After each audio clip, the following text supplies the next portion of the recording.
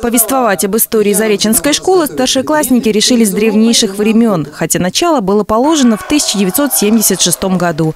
Поселок совхоза Заречье нуждался в образовательном учреждении, и оно появилось – типовое здание, именуемое в народе «самолет». Коллектив, перерастающий из бывших наших учеников, наших теперешних преподавателей и руководителя нашего, держит свои традиции, исконные традиции, которые начинал Вячеслав Алексеевич, наш первый директор. На его период выпало самое сложное время – строительство, э, сбор коллектива такого работоспособного, подбор людей интересных.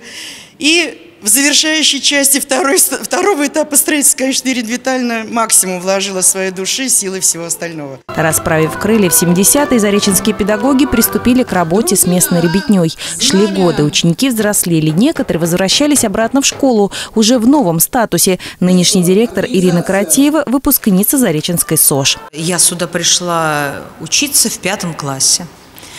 Это было в 80-м году. И я видела эту школу и как ученица, и как преподаватель, и как заместитель директора, и вот уже 12 лет наблюдаю за ней как э, директор.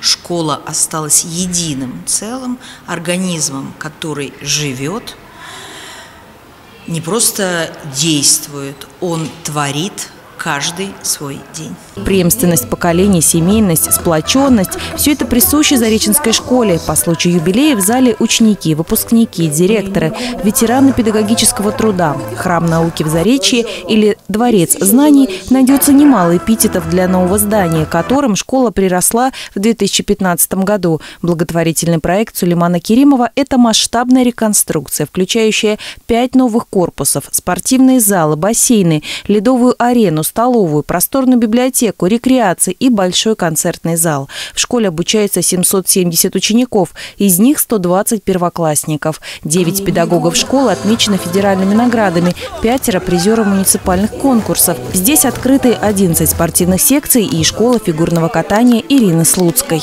Мы не с пустыми руками пришли к этой дате. Совет депутатов городского поселения Заречье во главе с председателем Чередниченко Юрием Дмитриевичем выделили бюджетные средства, более 70 миллионов рублей, на реконструкцию стадиона Зареченской средней школы.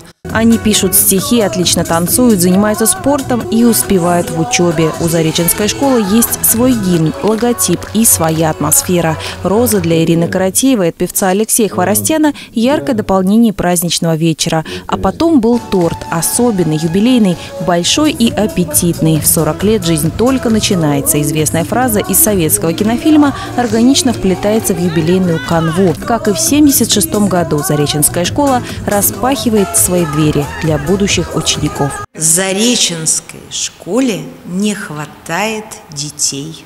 Зареченская школа может вместить еще минимум 400 человек. Мы ждем новых учеников. Мария Подъепольская, Леонид Бурдин, телекомпания «Одинцова».